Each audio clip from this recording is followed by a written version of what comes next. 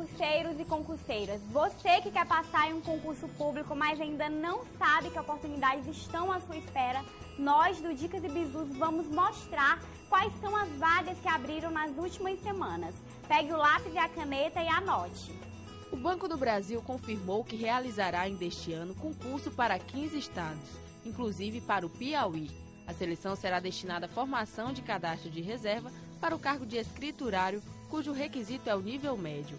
A remuneração deverá ser de R$ 2.470,08 e a jornada de trabalho é de 30 horas semanais. O edital será divulgado até o final deste ano. Foi confirmado que o edital do concurso da Agência Nacional de Aviação Civil, ANAC, será lançado em setembro deste ano. Serão ofertadas 170 vagas para níveis médio e superior. Para os cargos de nível médio, serão 45 vagas para técnico em regulação de aviação civil e 20 para técnico administrativo. Já para o superior, serão 75 para especialista em regulação de aviação civil e 30 para analista administrativo. As remunerações variam entre 5 mil a 10 mil reais. A seleção será composta por provas objetivas e discursivas para todos os níveis. E os candidatos aos cargos que exigem nível superior também passarão por uma avaliação de títulos. E agora que você já sabe que concursos estão abertos no Piauí e no Brasil, é hora de tirar algumas dúvidas. Muitos concurseiros têm dúvidas, por exemplo, sobre a realização dos concursos e a nomeação dos aprovados em um ano eleitoral. Nós vamos saber com a repórter Gisele Alves um pouco mais sobre as restrições dos concursos na época de eleição. Confira! A realização de concurso e a nomeação do candidato não é proibido em ano eleitoral, mas há restrições legais. Quais são elas? Bem, a restrição ela, ela é exclusiva em relação à questão da nomeação.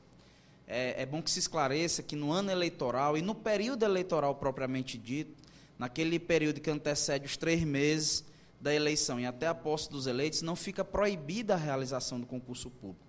Como a gente costuma dizer no direito eleitoral, a administração não para.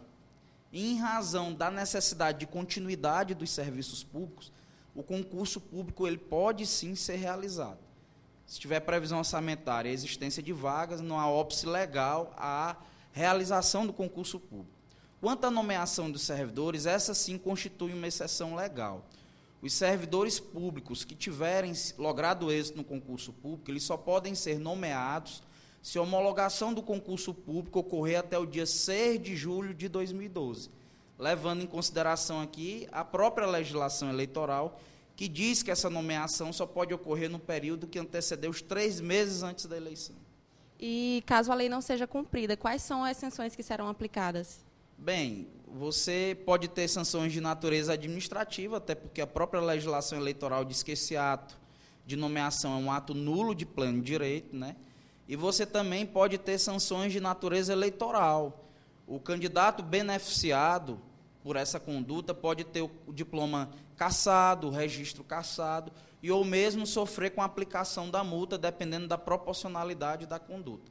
É bom que se esclareça também que em relação aos servidores do Poder Judiciário, do Ministério Público, dos tribunais de conta e órgãos da presidência, não há vedação à nomeação. Essa nomeação, independentemente da homologação ter se dado três meses antes do pleito, ela pode ocorrer a qualquer momento, sem que haja esse óbice referente aos três meses que antecedem o pleito. E a dica de hoje trata da área de tribunais, que é uma das mais procuradas no meio dos concursos públicos por causa da boa frequência de concurso, dos bons salários e da razoável oferta de vagas. Olha, o candidato que tiver nível superior deve avaliar uma possibilidade de se inscrever para dois cargos, o de técnico e o de analista, já que as provas acontecem geralmente em horários diferentes e as disciplinas cobradas são praticamente as mesmas. Claro que também existe a desvantagem do cansaço no dia da prova, mas por outro lado, o candidato estaria aumentando as suas chances para concorrer a dois cargos distintos. A sua participação no nosso programa é importante e para interagir é muito fácil. Você pode curtir a nossa página no Facebook, tirar suas dúvidas e também mandar sugestões de matérias. Eu desejo para você uma semana proveitosa nos estudos e eu te espero aqui na semana que vem.